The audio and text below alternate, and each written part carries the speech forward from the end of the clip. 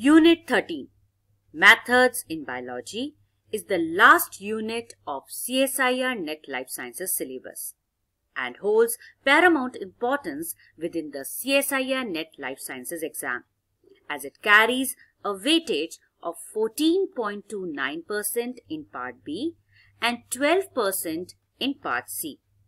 Therefore, it is must for every CSIR NET aspirant to prepare this unit for CSIR NET Life Sciences exam. Hello everyone, I am Dr. Tanushree and in this video, I am going to tell you about important topics and reference books that you can refer from this unit. Unit 13 deals with different techniques and their applications and comprises of 8 subunits covering various subtopics as you can see it on your screen. Every subunit is about different techniques. Like subunit A is about recombination DNA technology, subunit B is about immunological technique, C is about spectroscopy techniques, D is about statistical methods, E is about radiolabeling techniques, subunit F is about microscopic techniques, subunit G is about electrophysiological methods, and subunit H is about methods in field biology. Direct experimental based questions or in combination with other units like unit 1, 2, 4, 8 and 12 are often expected from this unit, which will test your true research abilities. Being very vast unit, CSIR NET aspirants might face some serious preparation issues. But don't worry, I have categorized the topics from each subunits into three categories. Most important, medium important and least important. Most important topics are highlighted in green and are those topics from where questions are most frequently asked. Medium important topics are highlighted with yellow color and these are those topics from where questions are expected sometimes. Least important topics are highlighted in blue and are those topics from where questions are rarely asked. You can start your preparation by focusing on most important topics first and once done with them, you can study medium important and lastly least important topics. So let's start with subunit A of unit 13 which is molecular biology and recombinant DNA methods. You can see this particular subunit is very vast. It comprises of many subtopics. Now, among the given subtopics, the most important topic is molecular cloning because questions are frequently asked on this topic. You can expect statement-based, figure-based questions from this topic like questions on restriction digestion, question on vectors. Second most important topic from this particular subunit is molecular markers. Here also you can expect statement based or figure based questions. Questions are asked also in combination with other units as well because molecular marker topic is common with unit 8 and unit 12. So combination based questions are also expected from this particular topic. If we look at the medium important topics, it comprises of electrophoresis, library, genomic and cDNA library, in vitro mutagenesis or gene knockout, and sequencing. And least important topics comprises of isolation and purification of biomolecules, microarray technique, isolation and separation, and analysis of carbohydrate and lipid molecules. So from the topics which are highlighted in blue questions are rarely asked. But as CSIR NET exam, like the syllabus has not been changed from past many years. Therefore, now we can see the trend where the questions are even expected from the topics which are least important. So make sure that when you start your preparation, you start with most important, moving to medium important and then you also prepare least important topics. For this particular subunit, you can refer these books, Gene Cloning and DNA Analysis by T.A. Brown, Principles of Gene Manipulation and Genomics by Primrose and Twyman. So basically, you can study cloning from T.A. Brown and also you can study about in vitro mutagenesis, gene knockout from this Principles of Gene Manipulation and Genomics book and for techniques like electrophoresis and for uh, other techniques you can refer Principles and Techniques of Biochemistry and Molecular Biology by Wilson and Walker. Now let's have a look at subunit B which is about histochemical and immunotechniques. In this particular subunit you study about antibody generation which you also study in unit 4. So hybridoma technology like how you can generate monoclonal antibodies that you study over here which is also common with unit 4. Then several techniques like ELISA, RIA, radioimmunoassay, Western blot, immunoprecipitation, flow cytometry and immunofluorescence microscopy are the most important techniques from this particular subunit. Most frequently questions are asked on flow cytometry or fluorescence activated cell sorting. So direct questions are expected or questions are expected in combination with unit 2 that is cell division, unit 4 that is immunology. But sometimes questions can also be asked on western blotting, radioimmunoassay, enzyme-linked immunosorbent assay, immunoprecipitation and immunofluorescence microscopy as well. Then detection of molecules in living cell is not very important topic. But yes, questions are sometimes expected from FISH and GISH as well. That is fluorescence in situ hybridization and genomic in situ hybridization. For this particular subunit, you can refer the book Kuby Immunology. Questions are framed on the figures or any experimental study given in this book. So for immunotechniques, I'll suggest you all to refer Kuby Immunology. Then coming to subunit C. Subunit C is about spectroscopy techniques. From this particular subunit, statement-based, figure-based and even numerical-based questions are expected. So statement or figure-based questions on UV visible spectroscopy, circular dichroism or fluorescence spectroscopy, NMR. So these four are most important spectroscopy techniques. Even numerical question, numerical based question on Beer-Lambert's law is also asked sometimes. Then X-ray diffraction and NMR statement based questions are often asked and also questions on the mass spectrometry, different types of mass spectrometry or mass spectrum is also most frequently asked.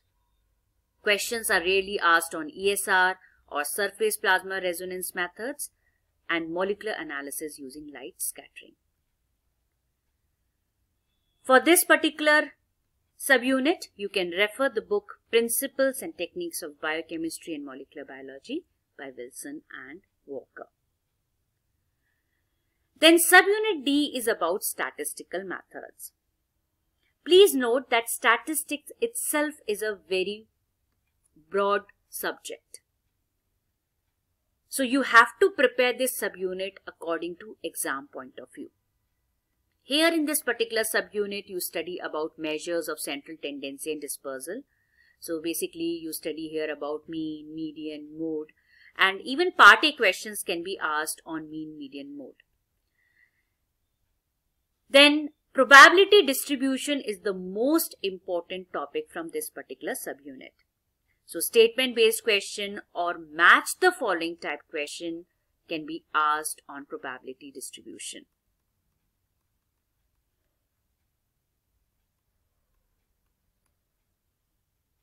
Then sampling distribution is the topic of medium importance. However, Parametric and non-parametric test is another important topic from this particular subunit.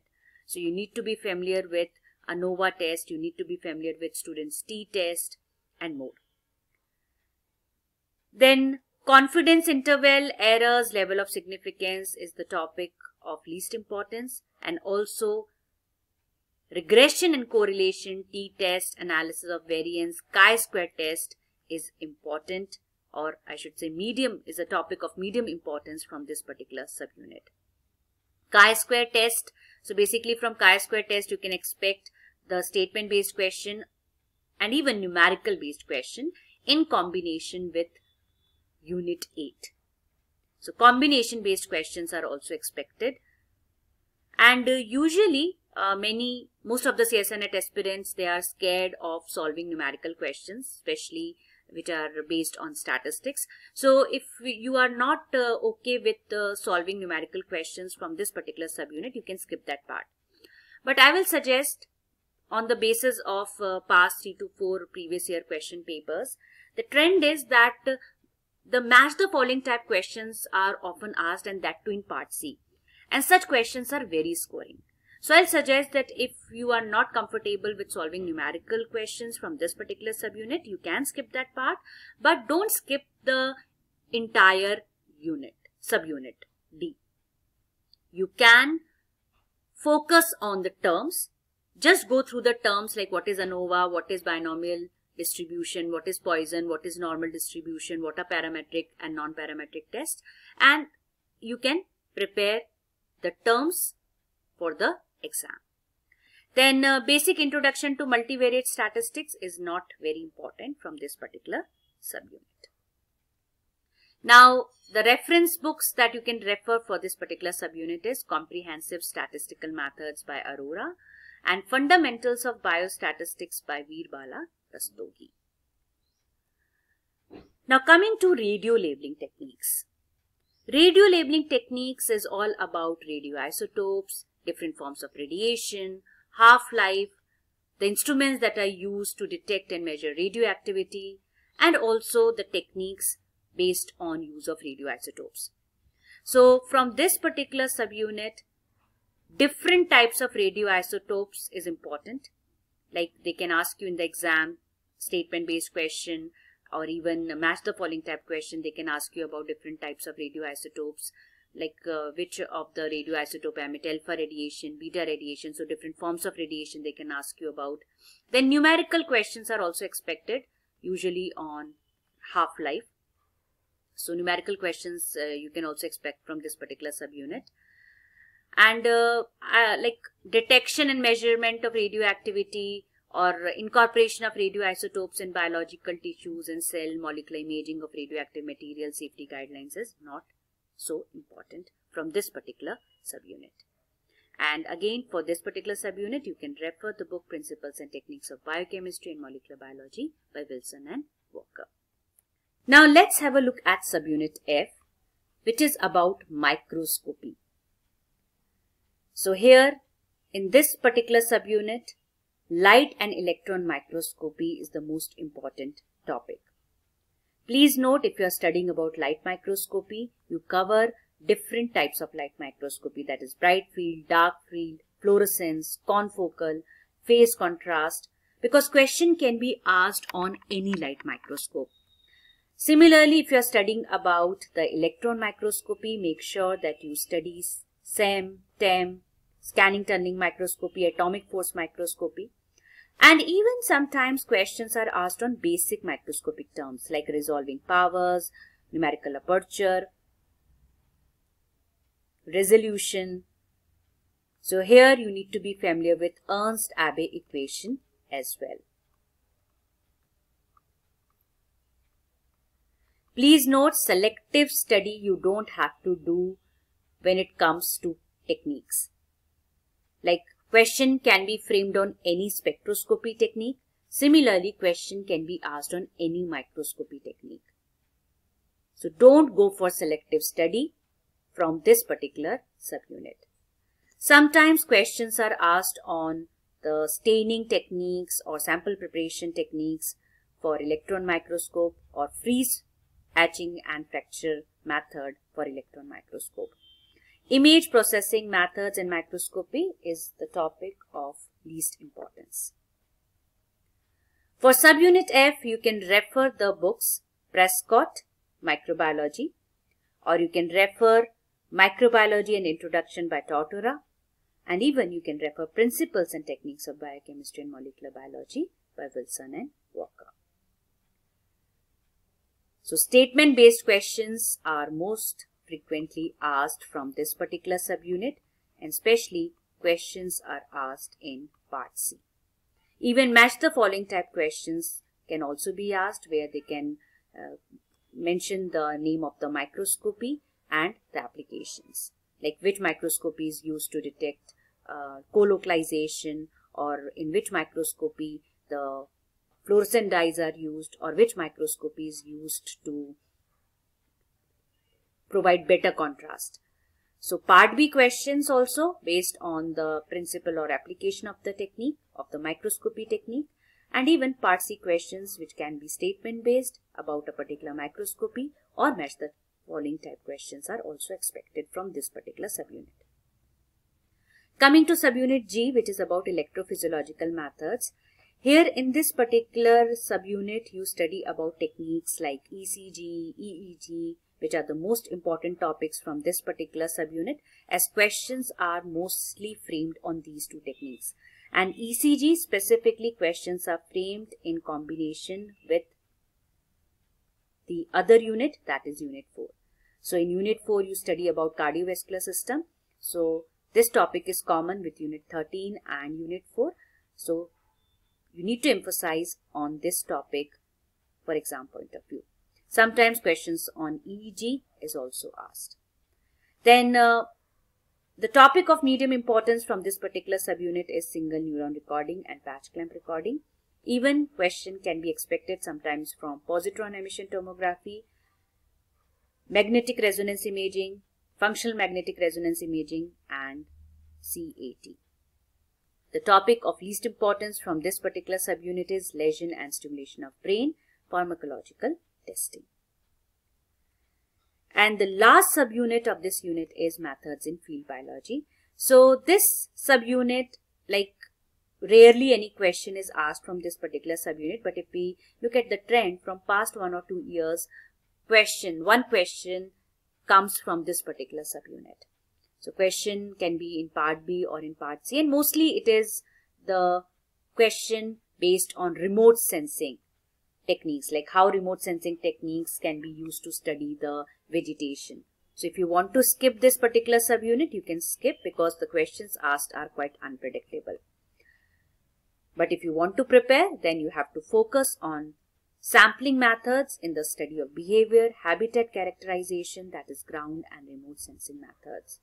Sometimes questions on methods of estimating population density of animals and plants can be asked and ranging patterns through direct, indirect and remote observation is the topic of least importance from this particular subunit. Now for subunit G and H, usually the research papers or articles are recommended. So during the regular classes, I give the link for the research articles and general articles to prepare these two subunits. So this is all about Unit 13 important topics and reference books. I'm sure now you get a direction of how you have to start your preparation for Unit 13. Thank you and take care.